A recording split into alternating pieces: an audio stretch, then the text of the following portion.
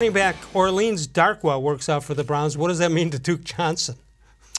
Uh, I just think I, am anticipating that Duke's not going to end up being here. I just think uh, I understand the idea of, uh, you know, you want to have some Kareem Hunt insurance while right. he's not playing for the first eight games, but it just seems like there's too much going well with the Browns.